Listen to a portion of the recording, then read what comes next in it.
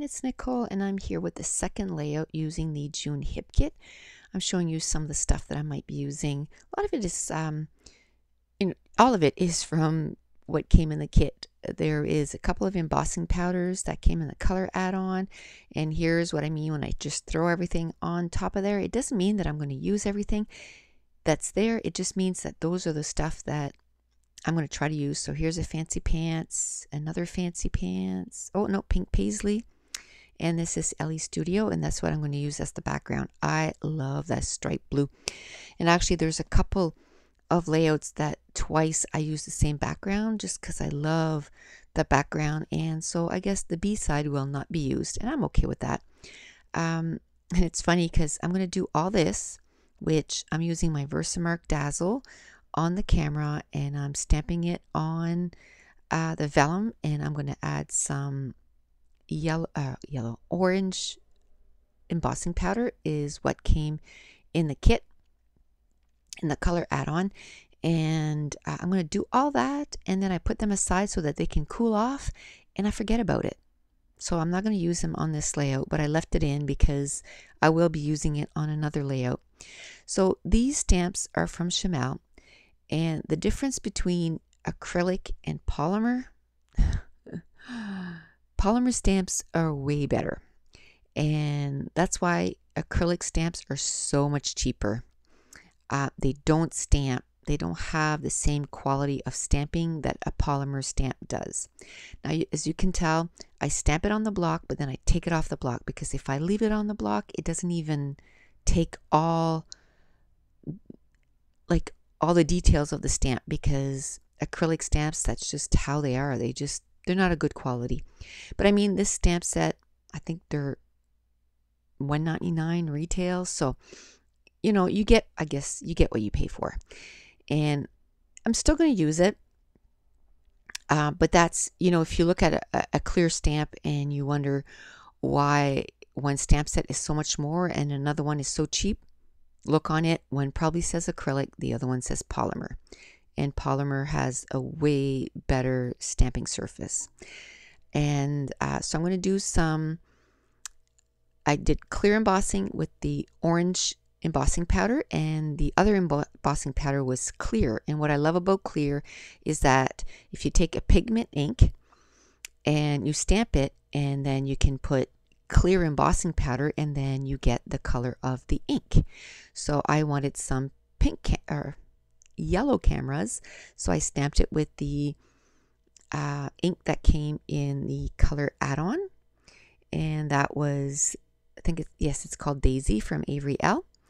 And then I just used the white embossing powder. Now, I didn't purchase the color add-on because I had white and orange embossing powder.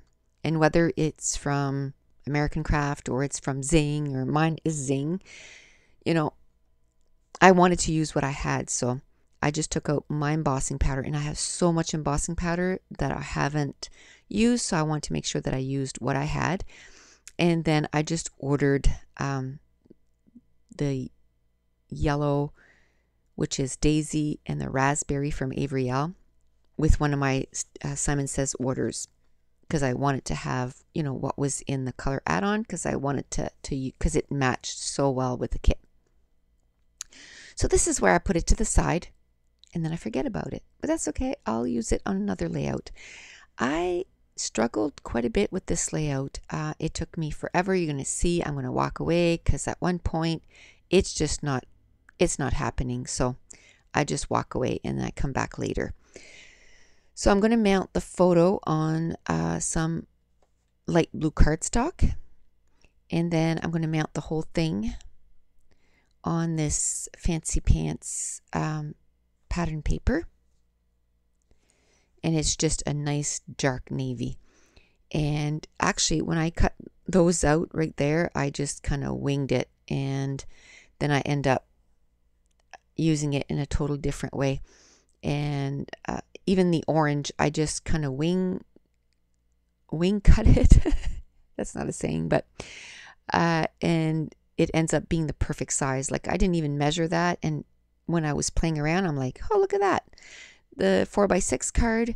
and the 4x6 photo fit perfectly inside that blue square.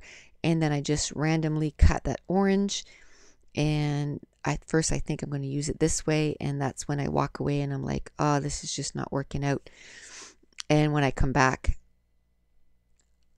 I figure out a different thing I hadn't scrapbooked in so long, like in a month. And for me, that is super long. Now, was I in my craft room? Absolutely, because I did a, a, few embellishment DIY videos that I still have a few to put up on my YouTube channel. And um, I did a ton of voice voiceover. And um, I tried to clear up my craft room before I left, but you know, on the grand scheme of things, you know, between having make sure that the house was spick and span or my craft room. I, you know, the house kind of won. I kind of did my house cleaning and then um, I was working a lot too. So um, I worked the night before, which was the second, and then the third.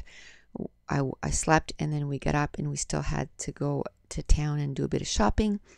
And then we had to pack. And then the next morning we got up bright and early and we left on July 4th. So we traveled most of the July 4th, but it was it was a good it was a good time. We had a ton of fun, and um, we didn't bring the dog, so Josh was a little upset at first, and um, then his sister, his middle sister, she came over here and stayed with the dog. So then he felt a whole lot better. So this is the next day. I came back and I just, all I did was flip that orange paper and I really liked the way it looked. So I'm going to keep it like that. I'm going to trim it down maybe a half an inch because I want to put the title on the side of the cluster of photo and then the 4x6 card that says it's all in the details. And I'm going to put the title right beside that. And I want it a little snugger so that the title looks like it's a little bit more grounded. I'm going to use a frame and I'm going to cut it in half. I'm going to put it at the bottom and the top of the layout and I'm going to do my clusters on that. And I like doing that. I like using a frame, cutting it in two or three pieces and then using it as the grounding place for my embellishment clusters. And on this layout, I'm going to use it in three spots. And I like doing that. Or maybe, is that a different one? Yeah, I end up using a different one for the top one, but it's very, very similar. I think the top one is a sticker, but it almost looks like the same. And then I'm going through the sticker sheet and I'm using my EK Success powder tool. And I love that because what I like to do, I can't go, okay, this sticker goes here, this sticker goes there. I pull everything off that I find that coordinates and then then I start sticking it down. I just throw everything in the middle of the page, and then once I find, yeah, I think I have enough uh, embellishments, then I start saying, okay, this one's going to go here, there, there, and I divide it in between the two or three or however many clusters that I have. And, you know, start cutting the pieces down so that I can split them up in between the clusters.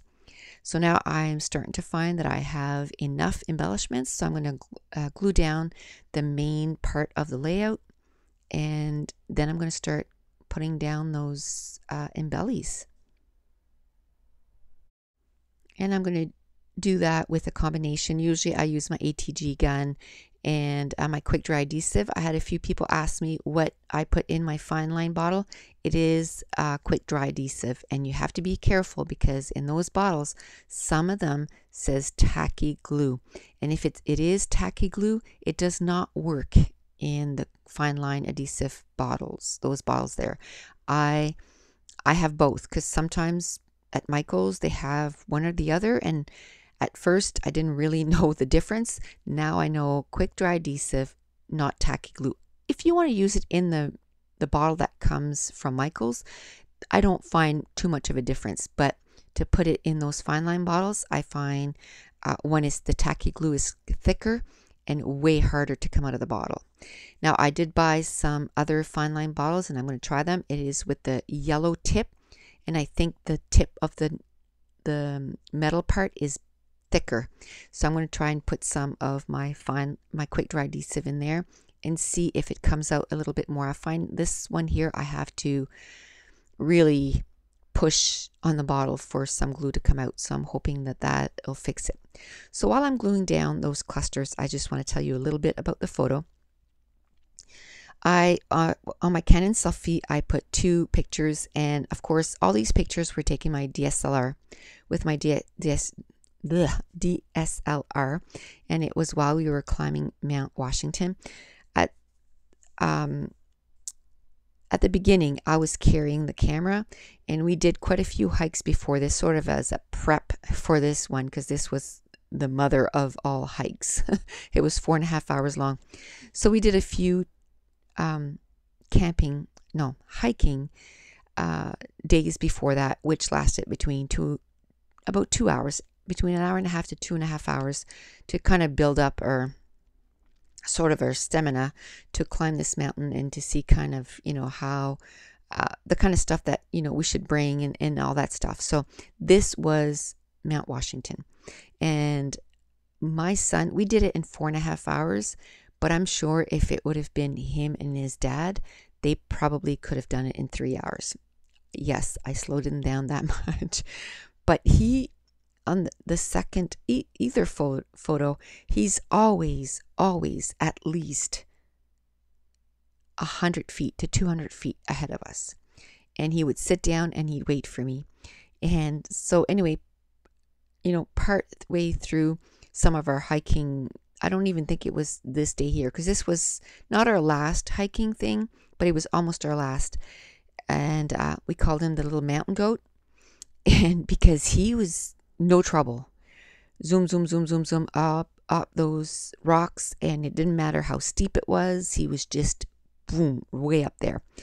And um, this particular trip, too, like he was always way ahead. And I had to kind of, you know, give a, a, a yelp there Josh, wait for us. Because, I mean, you're in nature and there's bears, and, you know, so I didn't want him by himself too, too far ahead. And um, so he would stop and he'd wait for us. And so we'd meet some hikers coming down the mountain. And, uh, people that are hiking are very friendly. It's awesome, you know. So everybody that came down, we talked to everybody anyway, there was this, you know, a few couples coming down, and we'd say, Did you see a teenager coming up there? And they'd say, Oh, yeah, he was just hoofing it, you know, or he was just boogieing, you know, he was just going. So I wanted to make sure that I did a, lay, a layout about our little mountain goat, that he was just going. It's so funny because being a teenager, you know, he was like, I don't want to go hiking and I don't want, but you know what? the whole time that we were hiking, he turned like his dad was behind. I was in the middle, always in the middle. And he'd be like, Mom, this is so awesome.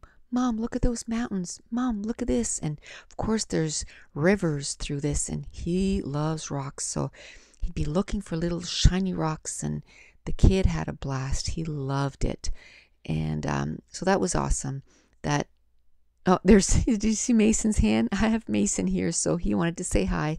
And actually, I think you're going to see there. He's, yep, there he is. He's helping me. he wanted to help me put the letters on. There we go. It was early morning, so he still has his jammies on. So he was downstairs having breakfast with his pappy, and uh, while Grammy got a layout done. it's all crooked, but oh man, he wanted to help Nami. So he was pretty happy that he helped. He loves scrapbooking. He loves the layouts. He loves looking and obviously he wants to help. So imagine when um, I can have my new scrap room there that I'm going to make a spot that uh, he can sit with me and he can help Nami scrap. So that'll be nice that, you know, when he gets older, he can uh, helped me with that. And he like i said he's loving the pages.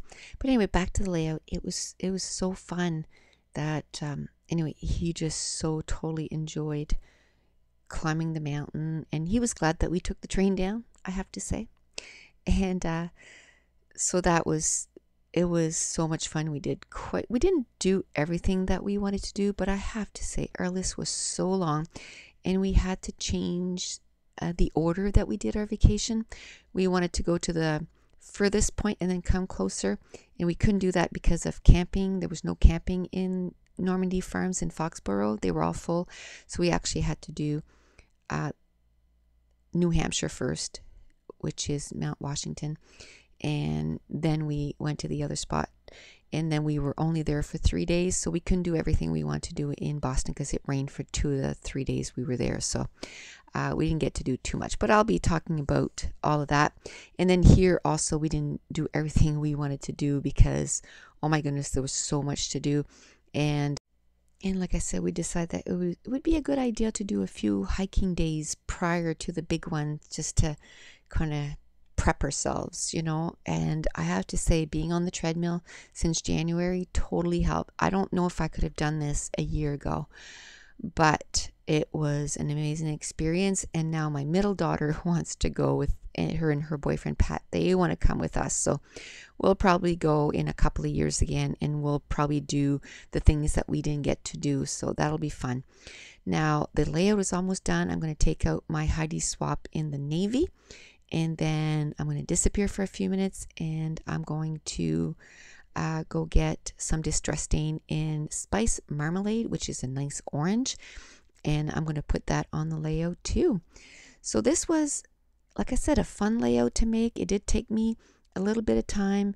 And I think it's just because, um,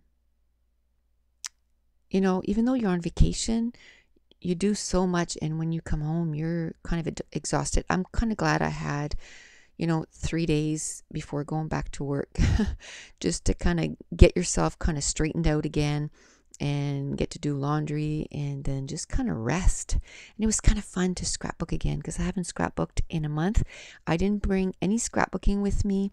I decided that I was going to read. I did manage to read a whole book. And I know it doesn't sound like much, but we didn't have uh, too, too much downtime too. So um, a bit, but I didn't want to read the whole time but it was I did manage to read a whole book, so uh, so that was fun.